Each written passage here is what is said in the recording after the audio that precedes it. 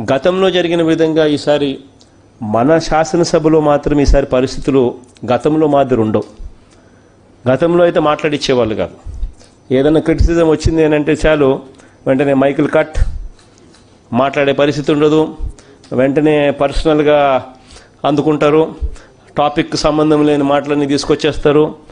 ఇంకా ఆ నుంచి మొదలు పెడతారు మీ నాయన ఇట్లా నుంచి మొదలు పెడతారు మీ నాయన ఇట్లా మీ ఇంకోటి ఇట్లా ఇంకోటి ఇంకోటి ఇట్లా ఇట్లా ఇవన్నీ దండిగా చూసాం చాలా చూసాం.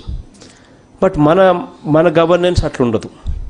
మన గవర్నెన్స్లో ఇదే తెలుగుదేశం పార్టీకి ఇరవై మూడు మంది ఎమ్మెల్యేలు.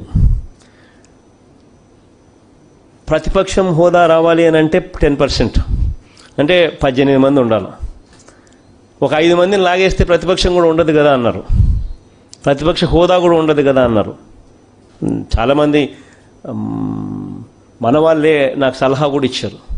But I said no I said no మనకు వాళ్ళకు తేడా ఉండాలి కదా అని చెప్పి గట్టిగా ఐ సెడ్ నో రామచంద్ర నవ్వుతున్నాడు అక్కడ. మనకు వాళ్ళకు తేడా ఉండాలి కదా అని చెప్పా. కారణం ఏంటంటే ప్రతిపక్షం అనేది ఉండాలా? మనం ఏదైనా ఎమ్మెల్యేని ఎవరన్నా తీసుకోవాలనుకున్నా రాజీనామా చేయించాలి. తర్వాత లే రాజీనామా జరగ రాజీనామా చేయించిన తర్వాత ప్రజల్లోకి తీసుకొని పోయి మన పార్టీ టికెట్ మీద మనం గెలిపించుకున్న తర్వాత ఆ మనిషి మన ఎమ్మెల్యే అవుతాడు. అలా రాజీనామా అన్నా జరగాలి డిస్క్వాలిఫికేషన్ అన్నా జరగాలి. ఇక్కడ డిస్క్వాలిఫికేషన్ లాస్ట్ ఫైవ్ ఇయర్స్లో ఎక్కడా జరగలేదు. ఎక్కడ రాజీనామాలు చేసే పరిస్థితి అంతకన్నా ఎక్కడ ఉత్పన్నం కాలేదు. ఆ పరిస్థితి నుంచి భిన్నంగా ఉండాలి అని చెప్పి మనం ప్రతి సందర్భంలోనూ మార్గదర్శకంగా అడుగులు వేస్తూ ఉన్నాం. ఈ మార్గదర్శకంగా దర్శకంగా అడుగులు వేసే విషయంలో వచ్చేసరికి ఈ అసెంబ్లీ కండక్ట్ చేసే విషయంలో కూడా అంతే మార్గదర్శకంగా ఉండాలి. మన మీద ఎవరైనా క్రిటిసైజ్ చేయాలి అని అనుకుంటే నేనైతే ఒకటే చెప్తా ఉన్నా. నేను స్పీకర్ గారి గారి ఇంత ముందు మాట్లాడేటప్పుడు నేను నేను నేను లేచి మామూలుగా సభ నేను నేను లేచి రూలింగ్ పార్టీ ముఖ్యమంత్రిగా మాట్లాడేటప్పుడు నేను లేచినప్పుడు మామూలుగా ప్రతిపక్ష నాయకుడు లేచినప్పుడు ఎవరు కూర్చోమనే చెప్తారు. కానీ మన విషయానికి వచ్చేసరికి మాత్రం నేను లేచి చంద్రబాబు నాయుడు ఏదో ఇంటర్ఫియర్ కావాలనుకున్నప్పుడు లేచి నేనంతటి నేను బంగారంగా మాట్లాడాను చంద్రబాబు గారు అని చెప్పి కూడా చెప్పాడు జరిగింది. ఎందుకనంటే లెట్ హిమ్ స్పీక్ ఆయన ఏం మాట్లాడాలనుకుంటున్నాడో ఏం చెప్పాలనుకుంటున్నాడో ఇద్దాం టైం ఇద్దాం. ఆయన మాట్లాడిన తర్వాత ఆయన చెప్పిన పాయింట్లను మోర్ లాజికల్గా మోర్ ఎఫెక్టివ్గా మన ఆర్గ్యుమెంట్ మనం చెప్పగలిగితే ప్రజలు దాన్ని చూస్తారు. ప్రజలు దాన్ని చూసినప్పుడు ఎవరు ఏ విషయాలు మాట్లాడారు ఎవరు ఎంత లాజికల్గా పాయింట్ని చెప్పగలిగినారు అన్న పాయింట్ ప్రజల్లోకి బాగా సింక్ అవుతుంది. ఆ ధైర్యం ఆ నమ్మకం మనకు మనకున్నప్పుడు మనం ఎందుకు భయపడాలి? ఎవరో మాట్లాడుతూ ఉన్నారు. ఎవరో మాట్లాడనీయకూడదు అని చెప్పి మనం ఎందుకు కుట్రలు పన్నాలి? అవసరం లేదు. మన మీద మనకు నమ్మకం ఉంది. మన పాలన మీద అంతకన్నా ఎక్కువ నమ్మకం ఉంది.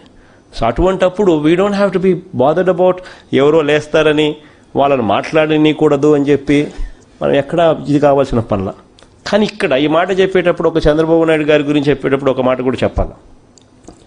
చంద్రబాబు నాయుడు గారికి గట్టిగా అబద్ధాలు చెప్పే అలవాటు కూడా ఉంది. ఇదే శాసనసభలో అయితే నేను సత్యదూరం అని చెప్పి అనాలి కానీ ఇదే ఇంతకుముందు గతంలో మీ అందరికీ గుర్తుండు గుర్తుండే ఉంటుంది ఆయన ప్రతిపక్షంలో ఉన్నప్పుడు నాన్నగారి హయాంలో నాన్న ముఖ్యమంత్రిగా ఉన్నప్పుడు నాకు బాగా గుర్తుంది. ఏ ప్రాజెక్ట్ కన్నా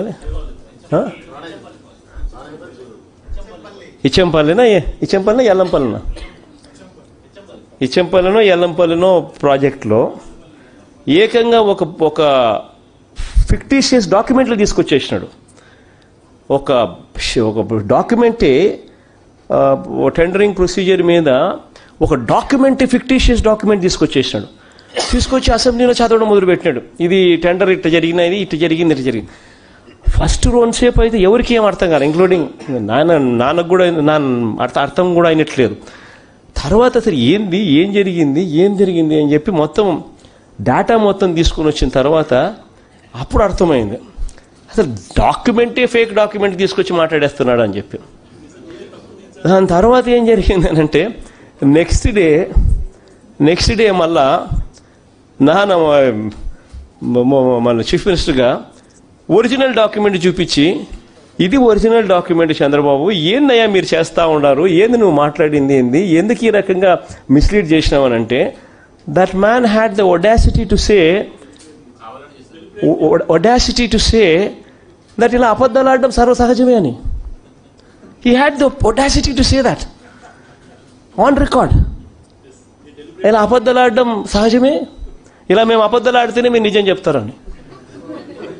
I got that was something shocking అది కూడా అసెంబ్లీలో ఆన్ రికార్డ్ రికార్డ్స్లో నేను ఇక్కడ దయచేసి మీ అందరితో కూడా నేను చెప్పేది ఒకటి ఏంటంటే అటువంటి అటువంటి చర్యలు మనం ఎప్పుడు చేయకూడదు.